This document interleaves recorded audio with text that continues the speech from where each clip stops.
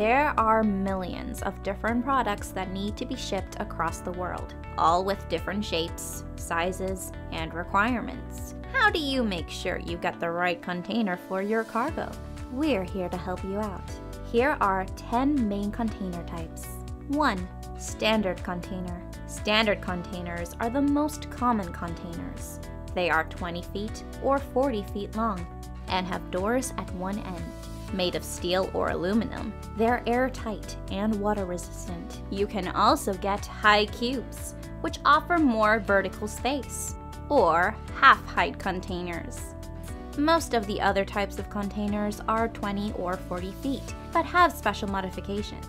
2. Reefer container. Reefer containers are basically big refrigerators that allow you to control the inside temperature of the container. They have T-shaped decking in the flooring that sends chilled air into the container and can maintain any temperature between negative 30 and 30 degrees Celsius but reefers can be expensive because they need power and regular maintenance. 3. Double door container. The double door container has doors at each end, creating a tunnel. This makes it easier to load and unload, as goods can be accessed from either end of the container. For example, a car can be driven in and then simply driven out. No need to reverse. 4. Open top container. Open top containers have no roof, making them ideal for irregularly sized cargo, like heavy machinery. Lashing rings help keep cargo in place, and the cargo can then be covered by a tarpaulin top. But if the cargo goes above roof level, the container can't be stacked and will be more expensive. 5. Pallet wide container. These containers are designed to carry wooden Euro pallets, which are popular in Europe. Because the pallet wide container is 5 centimeters wider than the standard container, it can take up to 15 Euro pallets, instead of the average 11. 6. Flat rack container.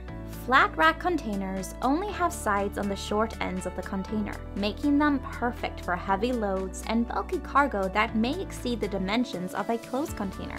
But because they can't be stacked, flat rack containers may cost more to use. 7. Side door container. Side door or open side containers have extra doors on the long side of the container. This makes them easier to load and unload because more workers can access cargo at once. And bulky cargo that doesn't fit through the end doors can be loaded through the side. 8. Hardtop container. These containers have a detachable hardtop. It's great for cargo that's difficult to load through the side doors. 9. Tank containers. Tank containers, or tankers, are made to transport liquid. They're made of strong steel and anti-corrosive materials to protect the liquid and keep it from leaking out. 10. Insulated container. These containers keep a consistent temperature inside the container, no matter what the outside temperature is. The interior is fully sealed to avoid condensation and moisture, often with vacuum sealed double doors. Now that you know which container you need, do you know how to find the right one quickly and easily? With Container xChange, you can buy, sell, and lease any type of container across 2,500 locations at the price you need. Our neutral online platform connects you with vetted business partners around the world. If you're interested in finding out more, click on the link in our description below and get in touch with our expert team today. And for the latest in industry news and terms, subscribe to our channel below.